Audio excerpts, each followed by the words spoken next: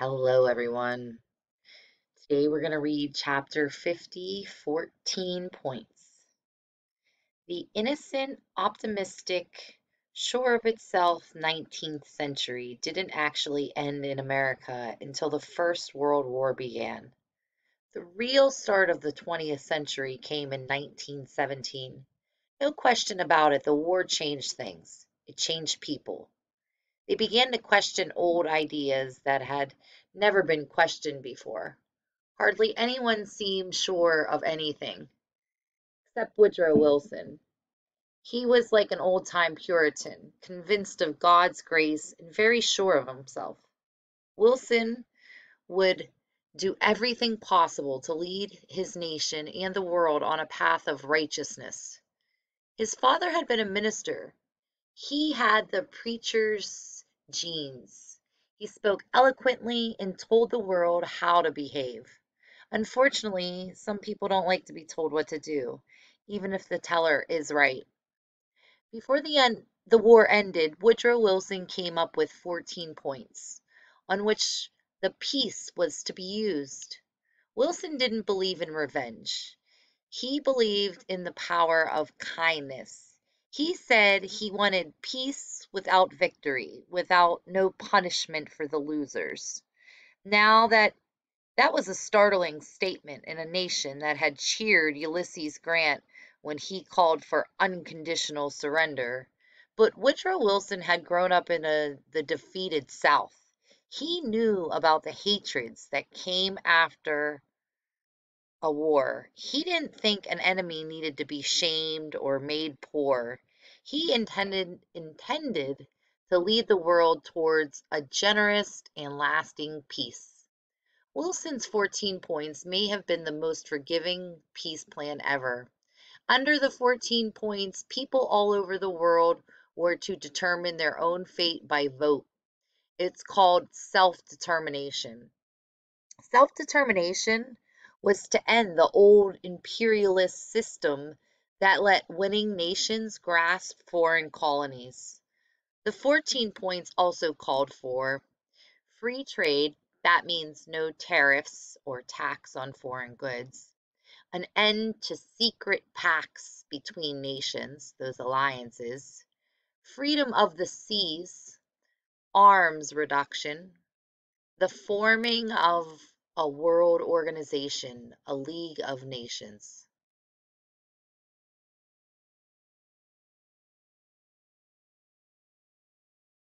Slide over here. This enormous crowd that gathered to greet Woodrow Wilson when he arrived in Europe for the Versailles Peace Conference. Wow, they're really crowding that car there. Wilson expected the League of Nations to guarantee freedom to all the world's people and keep peace between nations. Leaflets describing the 14 points were dropped all over Germany from those new vehicles that had been used for the first time as instruments of war, wood-framed airplanes. The German people who were tired of the war and close to rebellion read the leaflets, hoped for peace, and soon forced their ruler, the Kaiser, to flee the country. With the war over, Wilson set off to Europe, the first American president ever to do so while in office. He wanted America to lead the world to a just peace. He wanted to be a peacemaker. The European people were wild with admiration for Woodrow Wilson. They greeted him with flowers and cheers and they called him a savior of the world. Too bad he went, say some historians. Others say it would have been worse if he'd stayed home. Everyone agrees. Wilson didn't get what he wanted. Perhaps because of that, the Great War, which was called the War to End Wars, didn't end anything. It turned out to be World War One. Another world war, which was much worse, follows, followed 21 years later. What went wrong? Why didn't Wilson get his just peace? Was it because he was too sure of himself? Or because he didn't worry enough about jealous politicians at home and in Europe? Was it the tragedy of his health before he left the presidency? He exhausted himself, lost contact with reality, and became unable to fight for his beliefs. Maybe it was all of those things, and more too. After four more years of war, many Americans seem to have stopped caring. Most just wanted to get on with their lives. Some didn't want to be bothered by ideals. Others were disappointed that we hadn't smashed the enemy. Besides, President Wilson's sermons were getting tiresome. France's crafty old premier prime minister, George Clem- Clemenceau, who was called the Tiger, said, God gave us ten commandments and we broke them.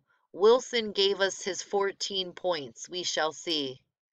What what Clemenceau saw was that France did indeed want revenge. Germany had invaded France twice with his memory.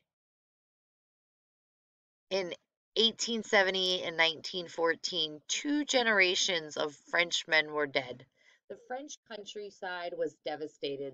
The French wanted protection and repayment for what they had suffered. They in England and Italy wanted and got a hard peace. They were angry with Germany. The peace treaty was signed at a gorgeous royal place called Versailles. Some of Wilson's most important points got thrown out the window at Versailles. Germany was blamed for the whole war and given a huge bill for war cost. The Germans, who had surrendered in part because of their faith in those 14 points, felt betrayed. But the 14th point, which meant the most to Wilson, the League of Nations, was saved. He believed that the League would do would right the wrongs of the old old world order, and it might have done so if the nation that was now the most important power in the world had joined the League. What nation could that be? American treaties with foreign powers must be agreed to by two thirds of the members of the Senate. A simple majority won't do. At first, most Americans believed in the League of Nations, but there were some strong senators who hated Wilson. Some were Republicans who were anxious to win the next election. They thought that a triumph for Wilson would hurt their party's chances. When Wilson went to Europe, he brought many advisors with him. They were either professors or Democrats. None were prominent Republicans. That wasn't wise or generous of Wilson's part. Some Republican senators began to fight the idea of the League. Many Americans, Democrats as well, worried about America getting involved in Europe's problems. Woodrow Wilson knew that the problems of anyone, any one part of the globe, were now the problems of all peoples. America could not hide from world responsibility. So the president decided to do what he did best explain things to the American people. That had worked for him before. But in those days before radio and TV, it meant getting on a train and giving speeches. Wilson crossed the country. He gave three or four speeches a day, talking about the importance of the League of Nations. It was too much for his health. Wilson had been working hard. In Paris, he had been ill and he acted strangely. In Pueblo, Colorado, he was so sick he could not finish his speech. Then he had a stroke. He was never the same again. Those who opposed the League in the Senate were now able to defeat it. The United States did not join the League of Nations. You can imagine how Woodrow Wilson felt. He believed that without a strong league to enforce peace, there might be another war, and that it would be much, much worse than the Great War. What the Germans used were toys compared to what would be used in the next war, he said. But we didn't listen. The United States embarked on a period of isolation. We tried to stay away from the rest of the world and its concerns. We would learn that could no longer be done. Like it or not, the United States was now a world leader. I can predict with absolute certainty that with another generation there would be another world war if the nations of the world do not concert the method by which to prevent it. That was Woodrow Wilson in 1919. And we will see the beginning of World War II. The influenza pandemic. In 1918, a deadly strain of influenza began to spread rapidly.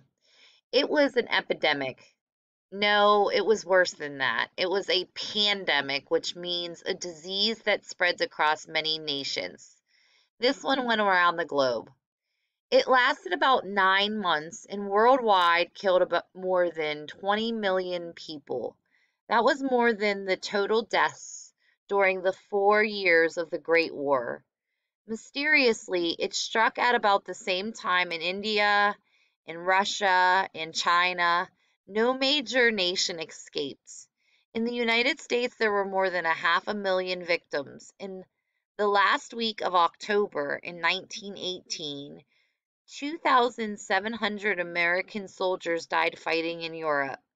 That same week, 21,000 Americans died at home of the flu.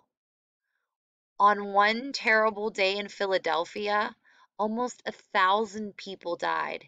Neither doctors, nor hospitals, nor cemeteries could handle the awful burdens put upon them. In those days, before the discovery of modern medicines, there was little doctors could do. The disease soon departed as mysteriously as it arrived. It left the country exhausted. Wasn't a war trouble enough? Everyone had worked hard supporting the war effort. Americans had done astonishing things in factories and on, on the farms. They fed Europe with amazing harvests of grain. They armed the Allies. Citizens had given up luxuries and even some necessities to help others. That flu epidemic was the final straw. Soon the new word was being used. It was normalcy. That's what people wanted. They wanted to go back to the old days before the war, but time won't march backward. Here's an image. The influenza pandemic of 1918 killed more than 20 million people worldwide.